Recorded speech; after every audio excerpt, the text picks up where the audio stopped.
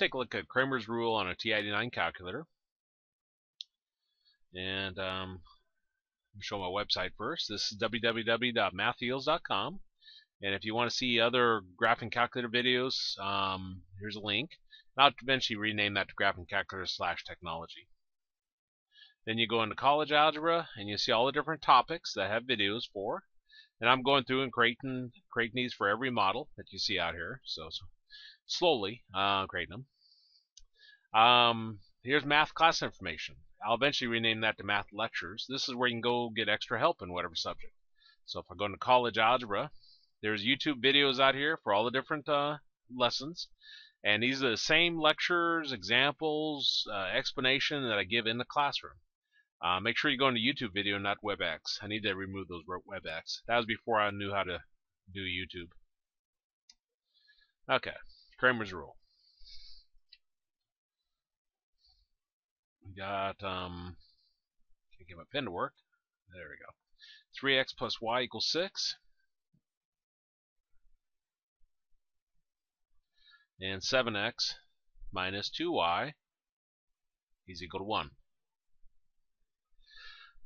Now our first determinant, we take the numbers off of our variables. Uh, so we drop the x's and y's and keep the numbers in their signs. So we've got 3, 1, 7, negative 2. So again, just took the numbers off the um, variable terms over here. Now d sub x, I'm going to go to the this uh, determinant in d, and I'm going to replace the x column with the numbers on the right side. So I'll put uh, 6 and 1 here. And then this uh, column remains as is, 1 and negative 2. Now my d sub y. I'm going to go through and replace my y column in d with the numbers on the right side. So I do 6 and 1 here. And then this first column remains as is. This is 3, 7. Now our answers are going to be x is equal to d sub x over d and y is equal to d sub y over d. Now, I can't really name these easily in this manner. I guess I could, but I'm going to put this in a, matrix called A. I'll put this in a matrix called B, and I'll put this one in one called C. So really, when I say the determinant of, or the d sub x, which is the determinant of this, that's the determinant of B, over d, which would be the determinant of A, d sub y, determinant of C over D, which is determinant of A. Now those are not absolute value bars, those are determinants. So let's go to our calculator. Okay. Now I want to enter these in, so um, I'm going to do my apps. Go into the data matrix editor, 6. And I want to choose uh, 3 for new. And you see it says uh, data, so I'm going to right arrow and uh, then choose 2 for matrix. And I'll down arrow to the folder and down arrow to the variable. I might already have A in here, so it might give us an error. We'll see.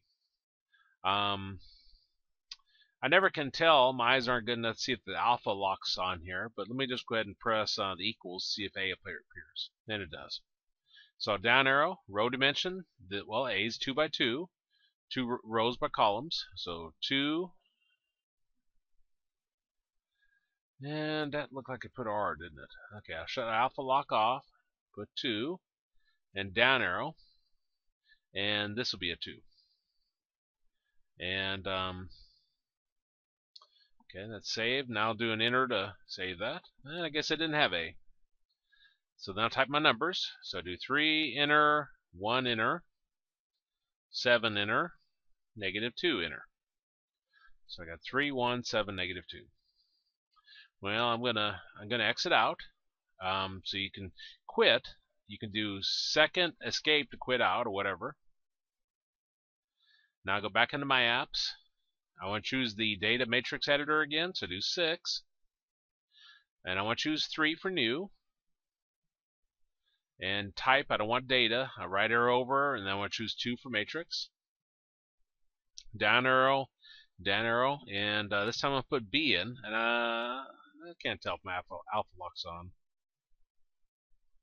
Okay, there it is. That's on. So now I'm going to put uh, B, which was, um, let's see, where is it at?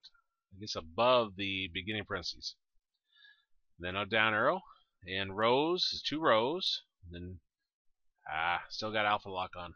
So shut alpha lock off. Then put two in. Down arrow, I'll put two here. Then I'll down arrow to save that, and then I'll press enter. Okay. Then this will be uh, 6 inner 1 inner 1 inner negative 2 inner 6 1 1 negative 2 I'm gonna quit. I'm gonna exit out so do second escape. Um, and now we need to put C in. So I'll go back into my apps. Choose 6 for data matrix editor. Choose 3 for new and I'll right arrow uh, and then choose D2 for matrix, down arrow to folder, down arrow to variable, and alpha lock. There's alpha lock. Okay, and then I'll put C in. So close parentheses, then down arrow, and I can't tell if alpha lock's on, but let me just do two. Yeah, that's a, okay. And then I did two again. Press enter and enter again. Okay, so then we're going to put C in. So I got 3 and 6. So 3 inner, 6 inner, 7 inner, and 1 inner. And after I get those in, I want to exit out. So do second escape. Okay, so now we have our matrices entered. And if I did um, alpha and choose uh, A and press enter, you see you can actually see the, the matrices.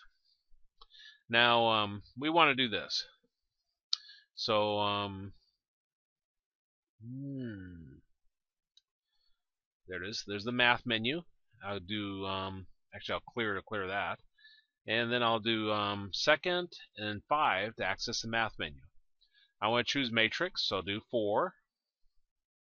And I want to choose determinant, so I'll do 2. And uh, I want to determine a B, so um, and B's uh, members you have to do alpha and then so alpha and then the beginning parentheses, and you see b there. Closing parentheses divided by. Then I'll go in my math again. So I'll do second 5. Choose 4 for matrix. I'm just choosing the number that's in front of it. And choose 2 for determinant. And then determinant of A, so I'm going to do alpha equals to get A. And then closing parentheses, enter. And you see that we get uh, 1. Well, let's uh, find the other one. Find Y.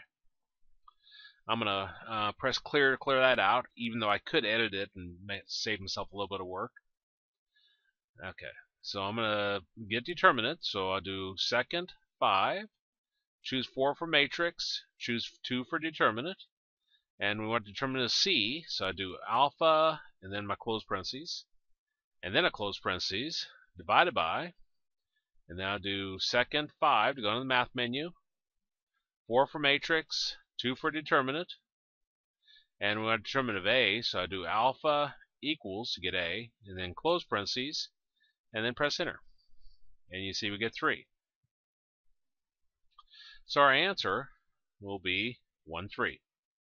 And that's uh, using the TI-89 uh, calculator to help us uh, do uh, Cramer's rule.